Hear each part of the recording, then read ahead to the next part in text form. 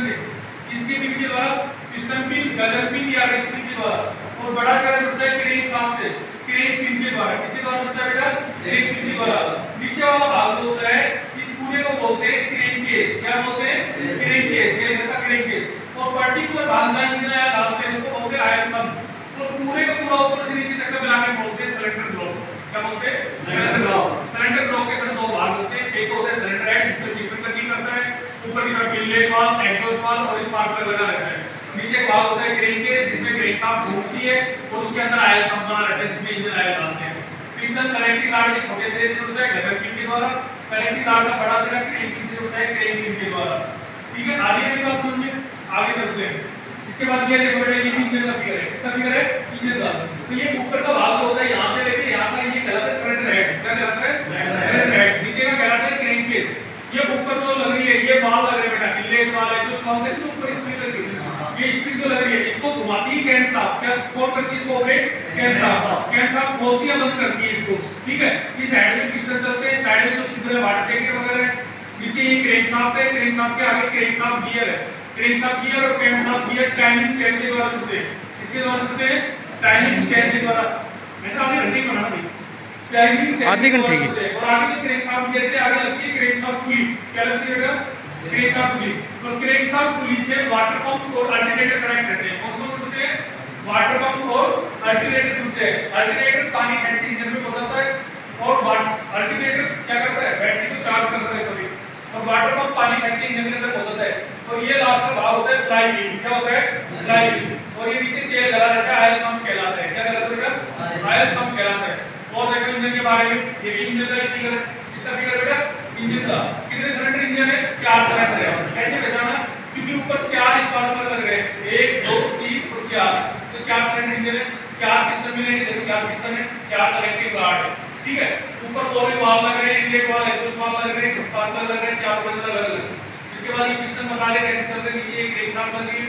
ये crank shaft पुली है। क्या कहते हैं? Crank shaft crank shaft pulley और ये इस भाग में लगता है फ्लाई व्हील क्या लगता है? फ्लाई व्हील और इधर आता है पानी ये जो कटर दिखाता है ना, ये इनमें पानी फ्लो करता है।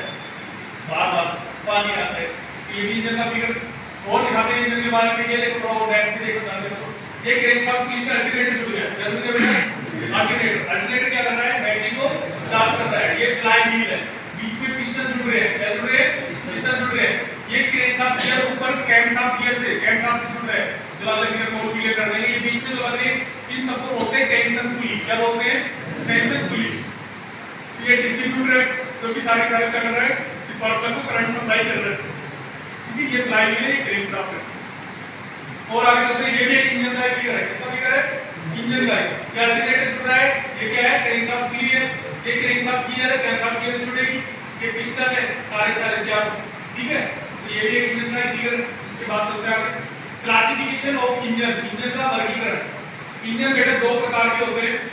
एक तो होता है IC engine internal combustion engine और दूसरा होता है EC engine external combustion engine IC engine तुम्हारे काम का है ईसी इंजन तुम्हारे काम का नहीं है।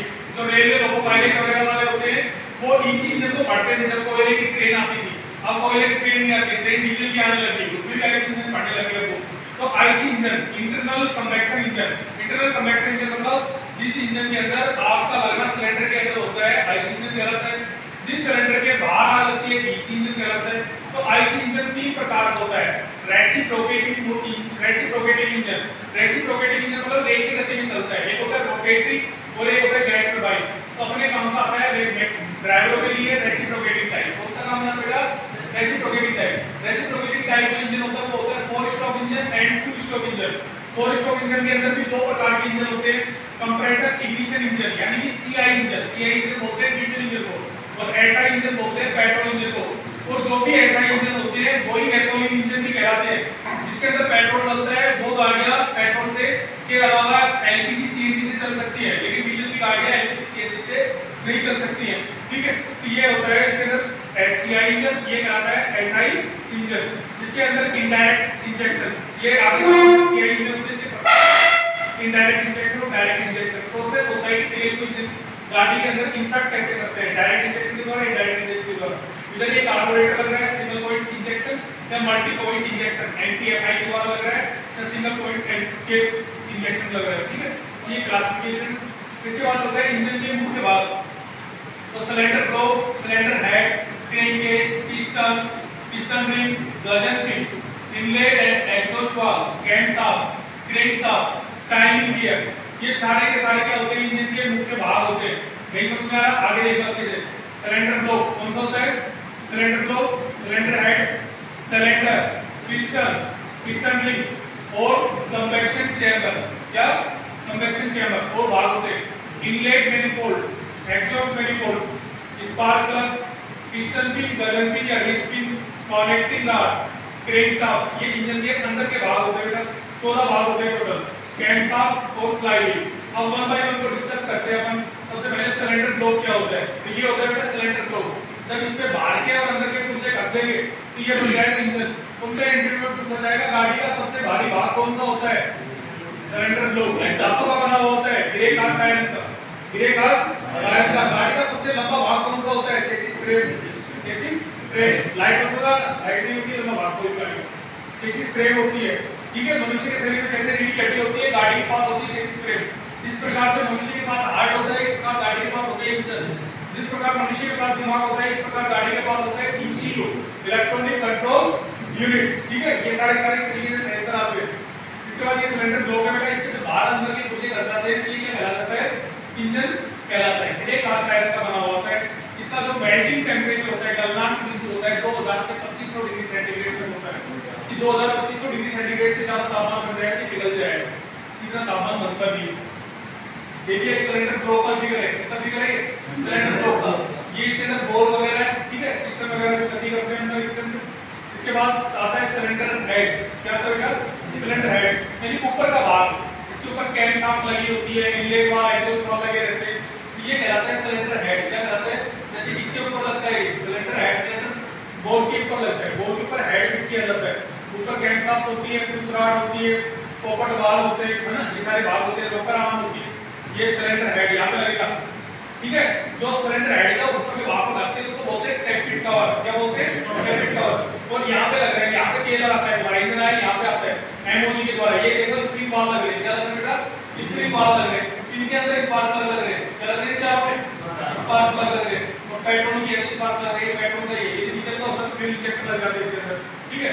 ये इनलेट वाल और एग्जॉस्ट वाल लग रहे हैं।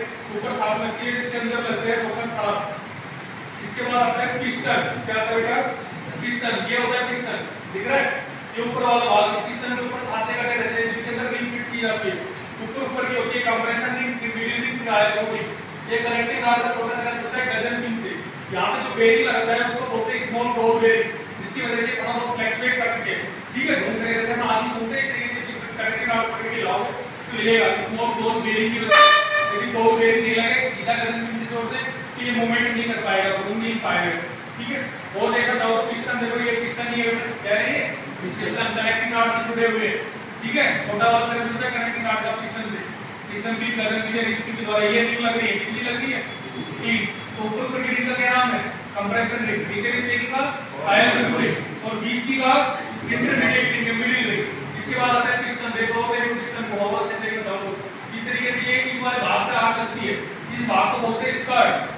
पिस्टन का जो ऊपर वाला भाग होता है, जहाँ लगती है, उसको बोलते हैं स्कर्ट। और नीचे वाला भाग को बोलते हैं क्राउन। इसके नीचे वाला पीस होता है, उसको बोलते हैं क्राउन। इसमें घुसती है गजन पिन क्या लगती है? गजन पिन और इनमें लगती है पिस्टन रिंग क्या लगती है इनमें पिस्टन रिंग इसके बाद आती है पिस्टन रिंग पिस्टन रिंग ये होती है चूड़ी के आकार की। इस प्रकार पिस्टन के ऊपर फिट की जाती है पिस्टन रिंग। ठीक है, ऊपर आग लगती है इसमें पिस्टन है पिस्टन रिंग के नीचे चढ़ाई जाती है। इन्हें पिस्टन रिंग बोलते हैं, ये गजन पिन निकल रही है। और देखना चाहो ये भी है पिस्टन रिंग। क्या बेटा ये? पिस्टन रिंग है। कितनी होती है? तीन होती है। ऊपर की का कंप्रेशन रिंग नीचे का वेल रिंग, और नीचे की का क्या नाम होता है? ऑयल रिमूव रिंग इसके बाद ये देखो रिंग, इस प्रकार की चूड़ी के आकार की होती है। ढलवा लोहे की बनी हुई होती है। इसकी बनी हुई होती है? ढलवा लोहे की। क्या काम में है? Compressor ring. सील करती है ताकि कोई भी हवा या पेट्रोल लीकेज होकर नीचे नहीं आ जाए ऑयल रिमूविंग क्या करती है? इंजन ऑयल ऊपर जाके चलने वाला होता है। और बीच की दोनों पर काम करती है बीच की रहती है दोनों पर काम करती है। जो दो काम छोड़ देते हैं। इसके बाद आता है कन्वेक्शन चैम्बर हैंगर्स जब पिस्टन टॉप डेड सेंटर पे होता है और ये इनलेट वाल एग्जॉस्ट वाल रहते हैं बेटा ठीक है? दोनों बंद हैं और पिस्टन टॉप डेड सेंटर पे।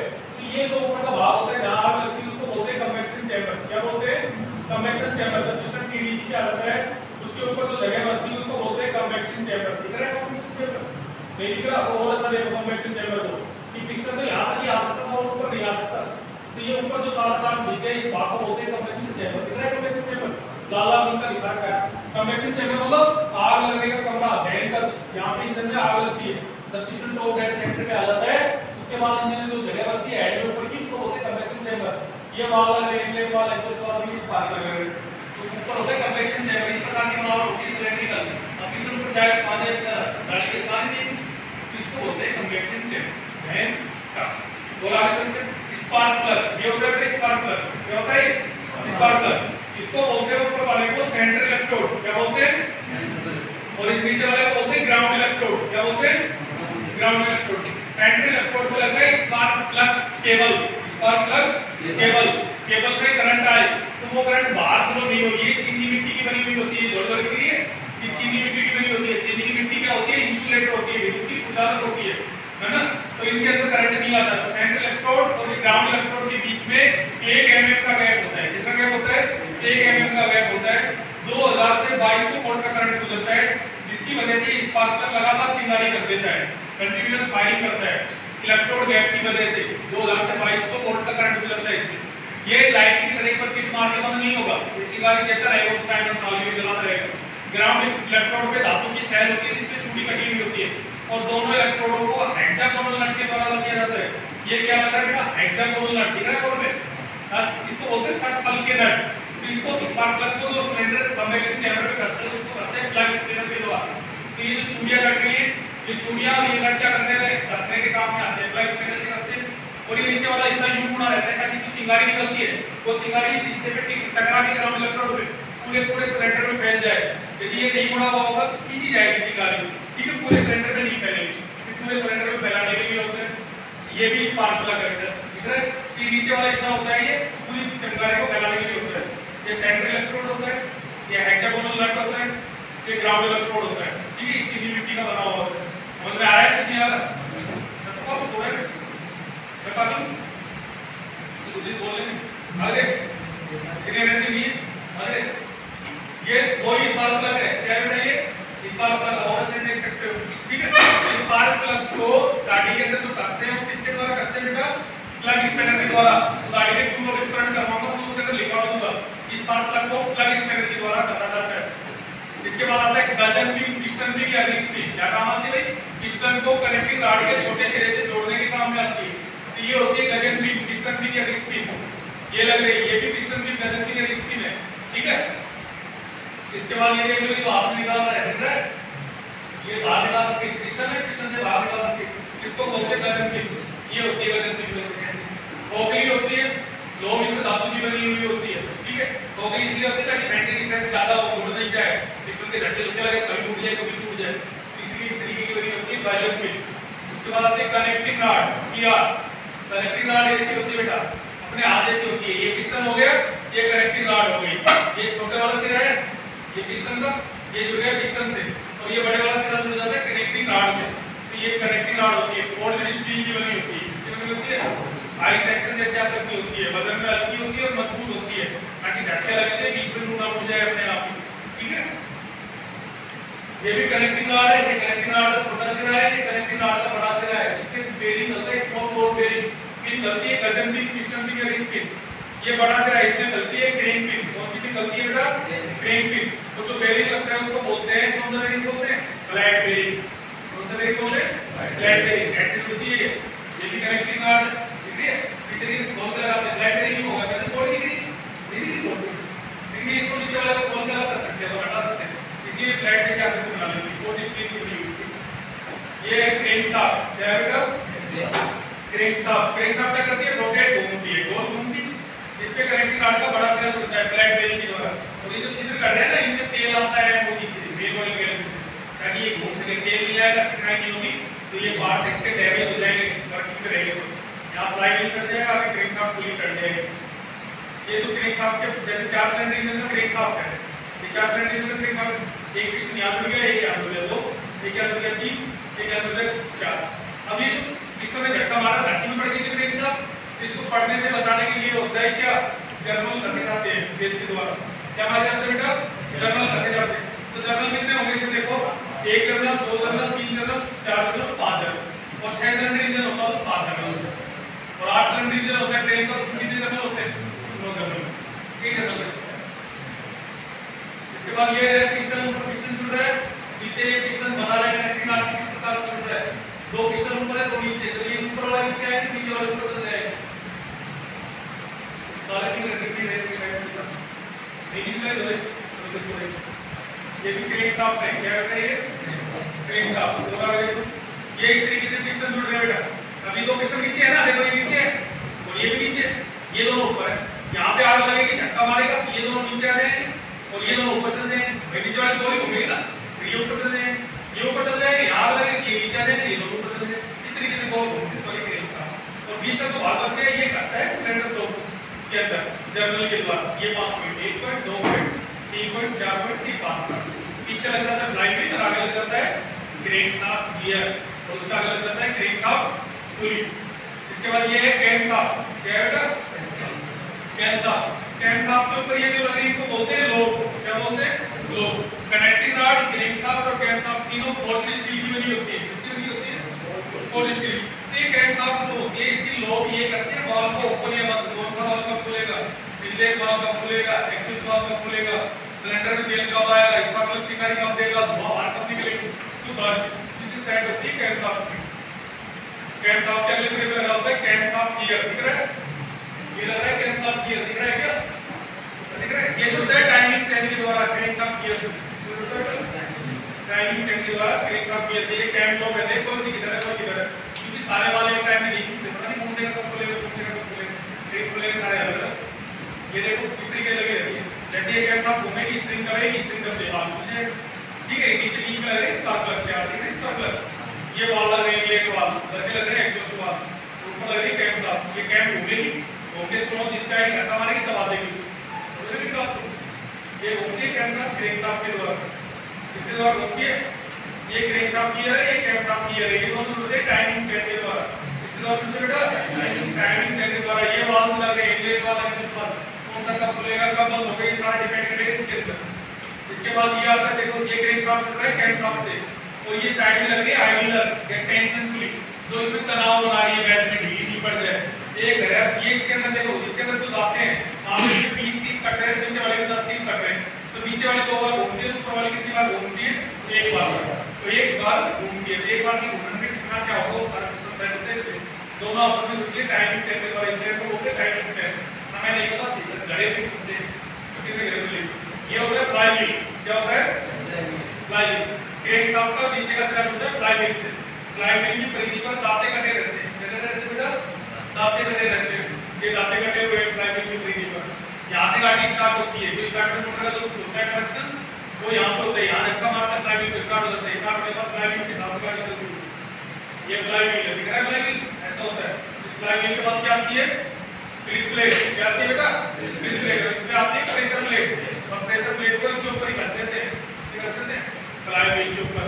मोड़ के द्वारा तक के और हरा फ्लाई व्हील दिख रहा है? क्या काम करता है गाड़ी गाड़ी का पिस्टन ऊपर नीचे चलते हैं। गाड़ी रोड पे उसमें सड़कें पड़ती है क्या? नहीं पड़ती। ये फ्लाई व्हील सारे झटकों का अवशोषित कर लेता है। आगे फ्लाई व्हील नहीं करने देता इसको बोल प्रॉब्लम साहब सीधा जोड़ दो। फिर एक गाड़ी ऊपर भी उसमें पड़ने लग जाएगी जो भी झटका है वो भी आएगी दूसरा क्या करता है, जब एनर्जी मिलती है तो उसको स्टोर कर लेता है। और जब ऊर्जा नहीं मिलती तो उसको रिलीज़ कर देता आगे दे देता है। पावर स्टॉक ऊर्जा मिलती है, जमा कर लेते दो तीन स्टॉक में सक्शन में कंप्रेशन में एग्जॉस्ट से ऊर्जा निकलेगी तो आगे भेज देगा ऊर्जा ये स्टील का बना हुआ पहिया होता है, ठीक है? वज़न में भारी होता है। कैसा होता है भारी इसके बाद आ रहा है इंजन की working working of engine cost of engine cost of engine जो होता है वो चार प्रकार से काम करता है। उस चार प्रोसेस है उसके suction compression power and exhaust suction का मतलब होता है खींचना या सूचना ये क्या करता है? हवा को खींचता है सूचता है। कंप्रेशन का मतलब खींचना दबाना। दबाता है उसका टेम्परेचर प्रेशर हाई करता है। पावर मतलब ताकत मिलती है और एग्जॉस्ट मतलब धुआँ बाहर निकलती है। ये सक्शन हो रहा है। सक्शन स्ट्रोक में क्या होता है बेटा? पिस्टन टॉप डेड सेंटर से बॉटम डेड सेंटर की तरफ़ आता है। ऊपर से नीचे की तरफ़ जाता है। इनलेट वाल्व होता है एग्जॉस्ट वाल्व बंद रहता है। सिलेंडर के अंदर पिस्टन ऊपर से नीचे जाता है तो सिलेंडर में वैक्यूम पड़ता है। क्या पड़ता है? वैक्यूम पड़ता है। जो इधर इनलेट में खोल का रास्ता खुल गया। इधर से हवा पेट्रोल के मिश्रण को फेंक देगा क्योंकि पेट्रोल इंजन है। बात पर की वजह से पता चल है पेट्रोल इंजन है। तो कार्बोरेटर में जो हवा पेट्रोल नहीं है, उसको इधर इलेक्ट्रॉनिक पोर्ट से खींच लेगा और पिस्टन नीचे जाएगा पूरा सिलेंडर भर जाएगा। क्या हो जाएगा बेटा? भर जाएगा, ये भर गया। ये इलेक्ट्रॉनिक पोर्ट है ये नीचे जा रहा है। पूरा पूरा सिलेंडर भर रहा है एग्जॉस्ट पोर्ट बंद है बंद है ना एग्जॉस्ट वाल्व इलेक्ट्रॉनिक वाल्व खुला रहता है पिस्टन ऊपर से नीचे जाता है और सिलेंडर के अंदर क्या होती है हवा पेट्रोल का मिश्रण कार्बोरेटर से आता है तो सिलेंडर पूरा पूरा हवा पेट्रोल के मिश्रण से भर जाता है कंप्रेसर में क्या होता है दोनों वाल्व बंद रहते हैं और कैसे रहते हैं दोनों वाल्व बंद रहते हैं और पिस्टन नीचे से ऊपर जाता है। नीचे से ऊपर जाता है तो नीचे से ऊपर जाता है, क्या करते हैं? पूरे पूरे चार्ज को, जो पूरे सिलेंडर में फैल गया था इसको कंप्रेसर में चैम्बर में ले जाके भीज देता है। क्या करता है? खींच देता है। पेट्रोल इंजन में तो हवा पेट्रोल का मिश्रण खींचेगा डीजल इंजन में केवल हवा हवा खींचती है क्या खींचती है बेटा हवा हवा तो वो हवा खींचने से कितनी गर्म हो जाती है 800 डिग्री सेंटीग्रेड तक 600 से 800 डिग्री सेंटीग्रेड तक गर्म हो जाती है और उसमें प्रेशर होता है साढ़े तीन सौ से साढ़े पाँच सौ पोर्ट पर स्क्वायर इंच पीएसआई का प्रेशर होता है साढ़े तीन सौ से साढ़े पाँच सौ पोर्ट इतनी गर्म हो जाती है वो हवा तो उस पर क्या करता है डीजल जैसे पूरी जगह से तेल पड़ेगा वो चल जाएगा ये देखो कंप्रेसर में दोनों वाल्व बंद है पिस्टन ऊपर जा रहा है साढ़े साढ़े चार सौ खींच रहा है क्या कर रहा है खींच रहा है इसके बाद होता है पावर स्टोर पावर में क्या होता है स्पार्कल घिसते ही क्या करेगा चिंगारी करने लग जाता है दोनों बाजू में रहते हैं अब ये आग दे रहा है आग लग रही है अब ये आग धक्का किधर मारे ऊपर तो मार नहीं सकती साइड में नहीं मार सकती पिस्टन में धक्का मारेगी पिस्टन नीचे आ जाएगा फिर सब धोने की ताकत मिलेगी गाड़ी को ये चिंगारी के गैस से चिंगारी फाड़ देता है नीचे वाला भाग कोई कोई सिलेंडर फैला देता चिंगारी तो धक्का मारता है पिस्टन आता है नीचे की तरफ़ नीचे का निशान दिखा और इंजन को कार्य करने की शक्ति मिलती है इसके बाद ये है एग्जॉस्ट स्ट्रोक एग्जॉस्ट क्या होगा? इंजन में जब ताकत मिल जाएगी उसके बाद आग लगने के धुआँ बचती है वो पूरे सिलेंडर में फैल जाती है एग्जॉस्ट वाल्व खुलेगा पिस्टन नीचे से ऊपर की तरफ़ आएगा धक्का मार के सारी सारी धुआँ को क्या कर देगा बाहर निकाल देगा सारी सारी धुआँ क्या कर देगा बाहर निकाल देगा और ये सारी सारी धुआँ देगा एग्जॉस्ट वाल्व से जो कि बाहर चली जाएगी। और फिर दोबारा सक्शन चालू हो फिर चालू हो जाएगा? सक्शन तो इंजन कंप्लीट हो गया। आधे तरफ़ तीन बार। आधे तरफ़ तीन बार। खत्म हो गया इंजन सारे बाल उठा दिए कार्य प्रणाली उठा दी कैसे काम करते हैं इतने हैं? आया समझ नहीं आया? नहीं आया? आया? अब क्या समझ में आया? बाल वगैरह समझ में आया सब काम किए क्रेन सब कैसे है बाल वगैरह समझ में हाँ तो करना है वीडियो में बटन करो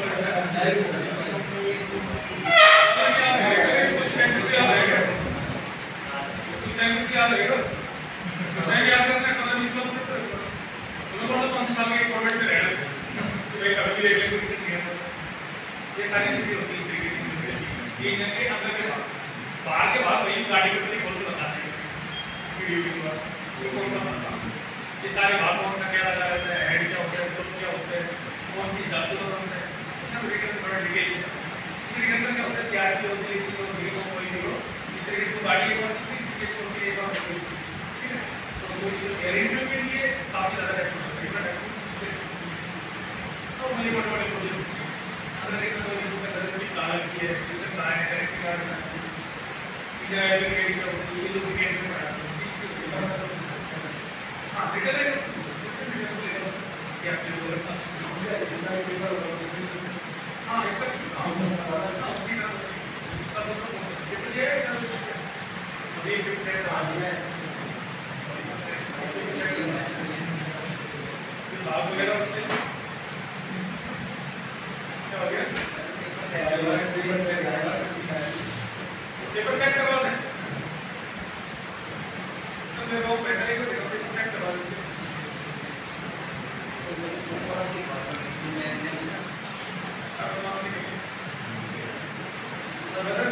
हमारा सेंटर खुला था दो हज़ार पंद्रह में।